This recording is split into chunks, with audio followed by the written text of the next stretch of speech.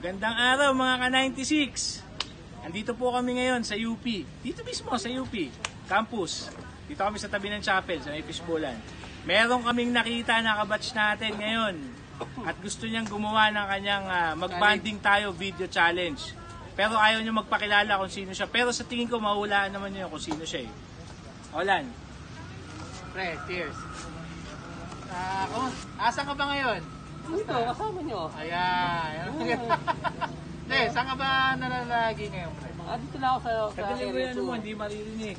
Dito lang sa UP, sa area 2. Mm. Okay, this is area 2. Ay, kamusta ka naman? Ito, okay naman. Okay pa rin. Masaya. Masaya ako. Nakita ko kayo Ano ngayon. pinagkakabalaan mo, pre? Ngayon, kumain, matulog. Wala, eh, pandemic, tambay tayo. Ah.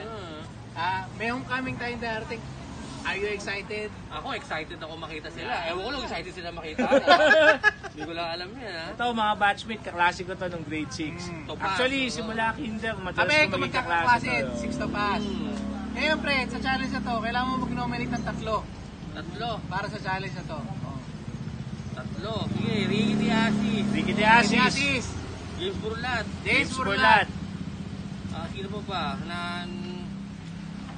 Okay na magpili ng isa. kahit Eh, sino. O, dalawa lang babae, o sino? Para puro Babae. babae.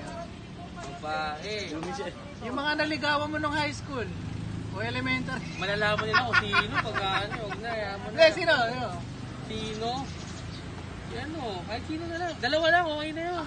Okay. Okay na. Oo, oh, dalawa lang, okay na yun. O, ito, hindi na namin kayo bibigyan ng clue kung sino yung batchmate natin na to. Basta itong taon to, walang kinalaman kay Monet. Ah, oo, O, walang kinalaman to kay Monet. Malayo. Mm, sige, kamusta Cheers! Mm. Wala akong baso eh. Cheers.